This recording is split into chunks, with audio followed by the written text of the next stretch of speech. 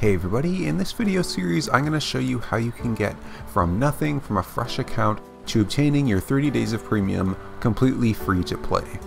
Now rather than make one video that is multiple hours long, I've decided to split it up into shorter manageable chunks where we'll look at different ways to get money depending on what stage you're at. So at the start of each video, I'm just going to give a brief introduction of what we'll be doing in that video, as well as have timestamps, so if you want to look for specific things, feel free to just browse through the videos until you find something you're looking for. In this first video, I'm going to be showing you how to start out well, how to get your around first 100k off of Tutorial Island and invest that back into yourself in a smart way so that it sets you up really well for making money in the future. Now the first thing you want to do on your way to making premium is to do the tutorial and if you're a new player make sure you pay attention all these tutorials are actually very good at teaching you the basic mechanics of the game so it's very helpful for starting off well. As you progress through the quest line you'll eventually come to a quest that is the beginner becomes a novice. It's going to ask you to acquire your own tier 2 gear. This is where you can make some quick decisions that can help you once you leave the tutorial. So the first thing you want to do that tutorial doesn't get you to do is to create a bag. So you go over to the toolmaker, grab the second tab and create a bag with some leather and some cloth.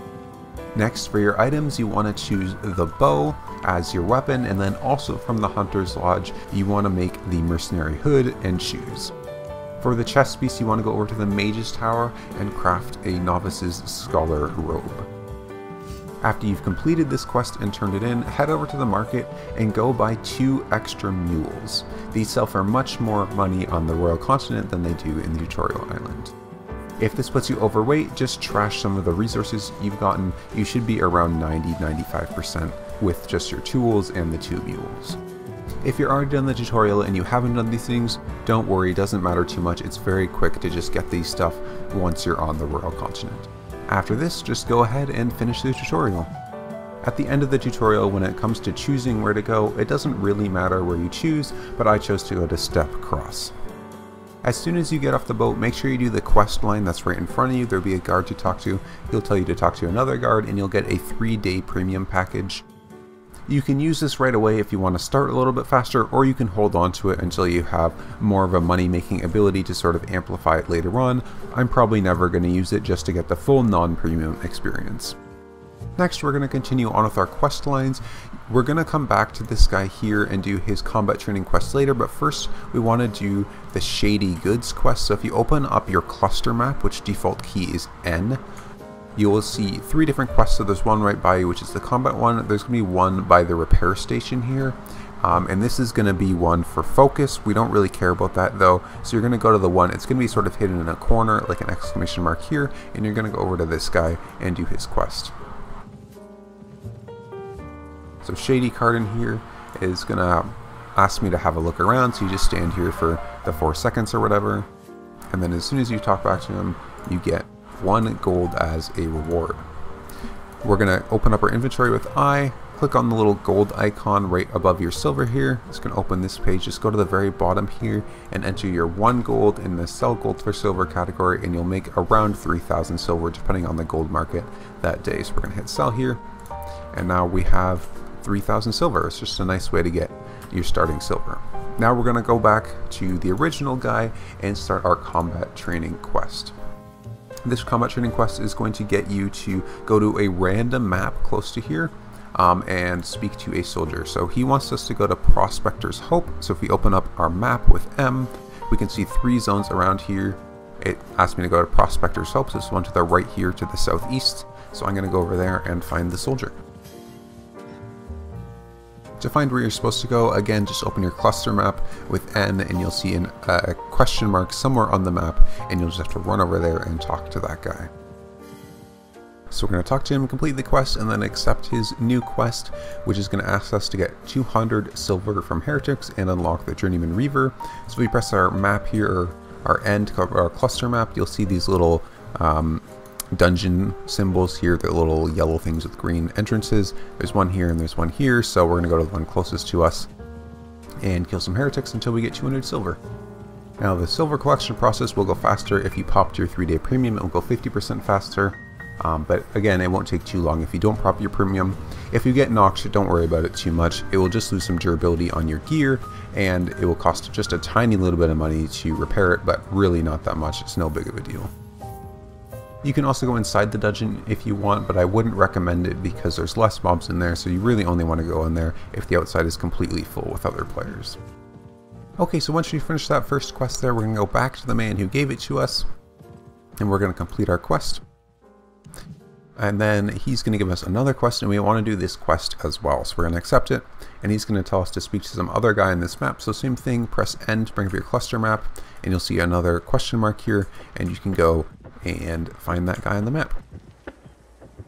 Okay, so we've completed the quest to find him, and he's going to give us another quest. You can see the reward for this quest is what we're really after. It's a royal sigil here. Its estimated market value is 40,000 silver, a little bit over, so that's going to be a nice starting silver for us. That's what we're really after right now. So we're going to accept this quest, and he's going to get us to kill any 10 heretics or one heretic boss. So again, if you open your mini map here, this it, this quest is easier to do in the large one over here. So you'll see there's two of the smaller ones and then one large one of the mob areas. So we're going to go over to the large one and we're going to go find a boss to kill.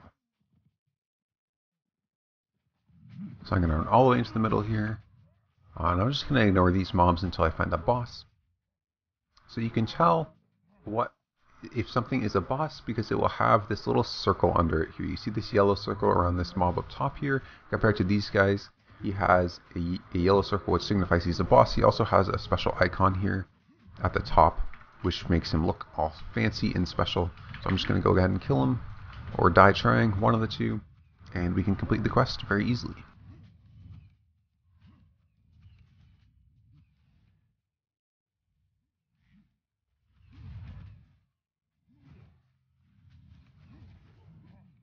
Alright, unfortunately I got bested by the mobs there, so once I get back up, I will try again to kill him. You can see some of your silver drops on the ground if you die, but no problem, you can just pick it back up, and it's not that much anyways.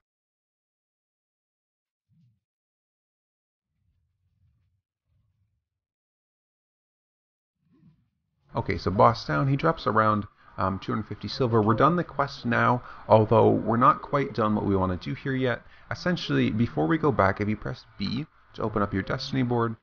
Before we move on to our next phase, we want to make sure we get up to our Journeyman or Tier 3 level of weapon and armor. So my Journeyman Hunter here, uh, Journeyman Cloth Armor Fighter, and Leather Armor Fighter. We want to make sure we get all those notes completed, so we need around 4.5k fame still. Um, and so there's two ways that we can do this. We can either keep killing the mobs here, but a faster way is to go through the map and try to find some solo dungeons. So I'll show you what a solo dungeon looks like on screen here. Essentially a little rock with a green thing, or a green light poking out of it. Um, and these are going to give more fame and rewards than the mobs in the open world. Okay, so I've gone and found it and had a solo dungeon here. It didn't take too long. You can see there's these little dungeons with green light escaping. So you dismount and then just left click on it and you will be channeled inside of it.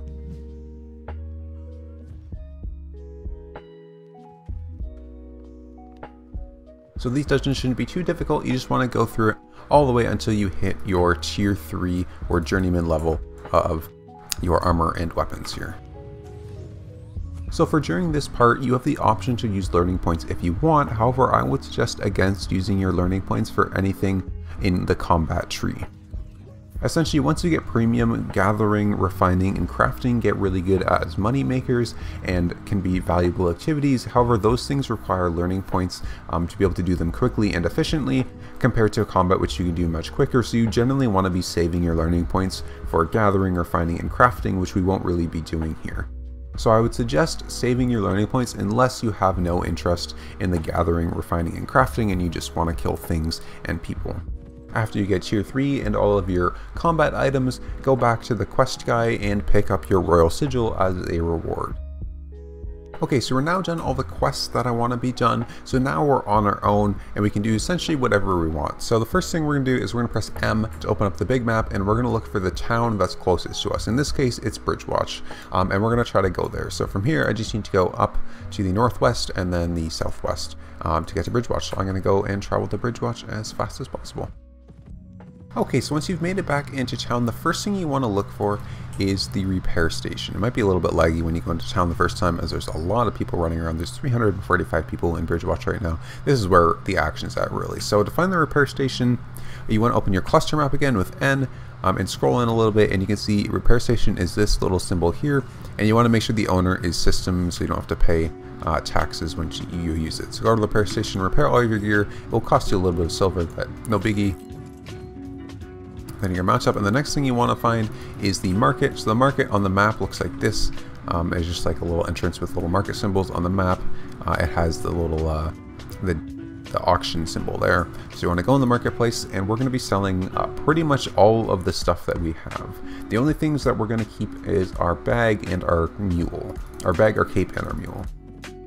Um, and so when you click on the market here, uh, in order to sell things, I'm going to take everything off so I can sell them, except for the three things I want to keep. I'm going to stack and sort my inventory just for um, organization's sake. If you go down, so the first tab is the buy tab, the second tab is the sell tab, you want to click sell, and then if I click sell on this item, um, essentially I will have two options, sell or sell order. If you go up to the top right of this window that pops up, there'll be a little arrow here which you saw I had up earlier, and this gives you more information. So the sell option is going to sell to people that already have buy orders in the market. They're saying, I want to buy this sword for 41 silver currently. So you can and go sell it for 41 silver, or you can say, no, I want to get closer to 100 silver for it, which is what I would suggest, and go into a sell order then and sell it. And I'm going to sell it for 104 silver, so one silver under um, what the, the highest price is right now.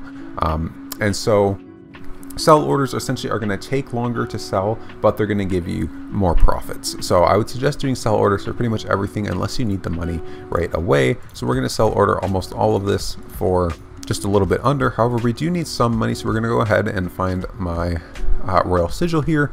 And this one, I'm actually just going to sell right away because I want this 36k um, so that I can invest it and get some gear so we can do some stuff. So I'm going to just use the sell option for this and you'll see my money jumps up right away to 37k. Um, but the rest of the stuff I'm going to sell in sell orders. Okay, now that that's all sold, then we have 37k, we're going to buy our tier 3 items so that we can do things a little bit more efficiently. So the first thing we want to buy is a spear, so you can go over and you can even just go to tier 3 here and just search spear, and you'll get a spear here. Now, one thing to look out for when buying items is their quality. So essentially, what determines how good an item is, is its item power. So you can see the item power right under here. This item power is 510, and depending on the quality, it gives us a little bit of bonus into the item power. Essentially, item power just determines its stats. Um, so we can see this good quality one is 510, the base is 500, and we get 10 for it being good quality. A normal one here is just going to be 500, and if we go over and find an outstanding one, um, I'll just search up here. Outstanding is going to be 520, excellent 550, uh, and masterpieces plus 100. Um, so rather than buying the, you know, the cheapest one, I'm going to look at how much outstandings are. They're only like 100 silver more, so 10 IP for 100 silver, we'll take it. We'll buy an outstanding one. After that, you're going to want to repeat the process and buy a Journeyman's Torch, a Journeyman's Mercenary Hood, a Journeyman's Mercenary Shoes, and a Journeyman's Scholar Robe. Um, so now we have everything we need for our next phase. These are all our next items, so you can go ahead and equip them all and select any skills. On the shoes, you want to choose Refreshing Sprint and the Balanced Mind passive. On the helmet, Balanced Mind passive, and uh, it doesn't really matter which ability, you're not really going to use the helmet ability. And chest piece, just choose the Mend Wounds for now, and the Damage passive Aggression. Okay, and then we can close our market and move on to our next step. Okay, so now that we have all of our tier 3 gear here, our next step is to get all of this to tier 4. So if you open your destiny board with B, you'll see the nodes that you have. If I go to a weapon, for example, I just got this one. If I go up, we can find this spear here. We need to get this to level 1. So we're going to need to get 25,000 combat fame, a little bit over. Um, and we're going to do this through solo dungeons. Now, if you open your map with M, you have two options that you can do for solo dungeons. You can either go to a tier 4 zone to the one Long March Meadow here or Smooth Floor Cleft, or you can go back to tier 3 and do them in the maps you're doing before, like Fractured Ground. The Fractured Ground ones are going to be easier but a little bit slower. I would suggest starting with uh, the Fractured Ground one, the tier 3 ones, until you hit tier 4 Reaver here, Adept Reaver, because once you get Adept Reaver, the tier 4 solo dungeons will become much, much easier. However, if you're in for a challenge, you can just start with Tier 4 right away, and they're just going to be a little bit more challenging until you hit this Adept Reaver. So I'm going to go and find a Tier 4 Solo Dungeon, and we'll uh, complete it until we get to our Tier 4 combat nodes. So to get all your weapons from tier 3 to tier 4, it should take you around 1, maybe 2 dungeons to get, so really not that long, and it's a good chance to sort of learn PVM. If you see some solo dungeon looking things with like red runes on the side and an orange glow to them, don't go in those ones, those are corrupted dungeons. Those are essentially solo dungeons with PvP as well, and I mean you can do them if you want, it's similar but there'll be PvP in them and you're probably not ready for that quite yet. Also, if you enter a solo dungeon and there's already a player in it, it's common courtesy to just leave and let them do their dungeon instead of trying to compete with them to get the fame and the mob kills. While doing this, you'll likely complete your daily adventurous challenge thing, which will give you a tome. Go ahead and claim that and use it as well. Okay, so we've just finished all our milestones off, just got the combat ones finished. You can see we have the chest piece and the helmet and the shoes here. Uh, so we're going to go back to town and upgrade our gear. Okay, so now that we've reached tier 4 on our combat items of choice, we're pretty much at where the game starts. Tier 3 is really just introductory, tier 4 is really where everything starts, and so we're going to go to the market, we're going to sell everything we have and buy a completely new set of tier 4 items. Once you get back in town, just make sure you go to the repair station again and repair everything first so that you can sell it on the market. Okay, so we're just going to take everything off and sell it. We're going to sell everything this time. Everything has to go. We're going to replace all of it, um, and then we're going to buy some items instead. Okay, now for buying items, we're going to buy the following specific items of tier 4. We're going to buy an Adept Spear, an Adept's Cleric Robe, an Adept's Torch, an Adept's Assassin Shoes, Adept's Stalker Hood, a tier 3 bag, so Journeyman's Bag, a tier 3 horse, so Journeyman's Riding Horse, and then we're going to get some Brightscale Zander. Really any regeneration food works. Brightscale Zander is just like a nice medium range cheap option that still gives good regen. And then we're also going to buy 384 of Adept's runes. So tier 4 runes, and if possible, if we have money left, 144 Adept's souls or tier 4 souls. So before I forget, I'm just going to throw this 3-day premium in the bank, um, but we bought these runes and souls because they can be used to upgrade our gear to a essentially a tier higher. They give an extra 100 IP per upgrade that we do for them. So to upgrade your gear, you're just going to go to the town here and you're going to want to find the Artifact Foundry. So again, if you open up your cluster map, you'll see the Artifact Foundry is this little symbol here. So if you go over there, you can see when you get there, it's like this giant hammer thing that smacks down on something. So you're just going to click the hammer thing. And then to enchant, you're going to go to the third tab down, the enchant tab, and then you're either going to just click and drag all of this tier 4 items that you got, not the bag and the cape, but the rest of the tier 4 stuff you got, um, and hit enchant, or you can shift left click them and it goes in there as well. So we're just going to do that once for all of our gear. You can see we use all our runes by doing this. And then since our spear is our weapon, it's the most important, we got the 144 souls and we're going to use that to upgrade it to 4.2. So you can see now if we click on our spear, our item power is 920, which is very good. The normal item power is 700 and we have plus 200 because we used the souls and runes on top of it. Okay, now since we are back down to 6k, we're going to go make a little bit of money again. We're going to actually get another Royal Sigil. If we go over here to the Expedition, again, you can find this thing. Um, if you open up your cluster map, it'll be this little portal, the Expedition Master. If we click on the Expedition Master, now that we have our Tier 4 gear unlocked and we have our Adept Reaver, which we got as well with that, we can do one of these Adept's individual expeditions, and the daily bonus is again another one of these royal sigils that we can sell for around 35 to 40k. So we're going to do one of these to get another 35k. Now that we have this upgraded gear as well, these should be fairly easy, probably even easier than the solo dungeons you were doing before. The Brightscale Zander fish that you bought can be used to increase your out of combat health regeneration, so it's helpful, but you don't have to use it if you don't want. You can also use Mend Wounds on your chest piece if you find that easier. Alright, we've completed the ex expedition, so we just leave through this portal, and we should have another Royal Sigil that we can sell on the marketplace. Okay, so I'm just going to go quickly sell this sigil on the marketplace. Uh, let's see how much it's... I'm going to sell order it this time because it gets a little bit more money and we don't need the money quite yet. Um, and then we can sell this other thing that we got as well. So now essentially we are very well set up to continue our money making. We have a good set of gear worth around 50k that is very good for clearing dungeons and doing other activities. So essentially now we can really start making money. We have the Royal Sigil selling right now. So overall we've made around 100k. We'll have around 50k once that sigil sells to work with and we can start to make more money. That's it for the first video. This one I went fairly in depth just because it's really helpful to get a really good solid start and really walk your hand through the first part of it. The next couple videos will be going more over different strategies for how to make money and how to, you know, use this starting cash to get, you know, 1 mil, 2 mil, 3 mil, 8 mil, etc. I probably won't walk your hand through them as much as I did with this one, but I will show you some really good money makers and exactly how to do them. So look out for those ones if you want to continue on with me to getting your premium money.